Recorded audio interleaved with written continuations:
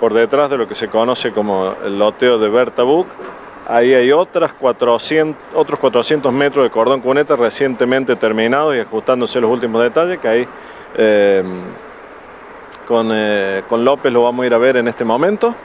Y bueno, siguen las obras a toda marcha, queremos antes que empiecen a llover más, tener algunos lugares vitales de la ciudad ya listos para eh, los drenajes de agua. Nosotros ahí son aproximadamente 400 metros de, la calle Berta Buc, debemos tener un 80% terminado y después nos queda otra cuadra más que ya quedaría todo el sector eh, terminado ahí. Así que ahora si pueden ir ustedes lo van a ver eh,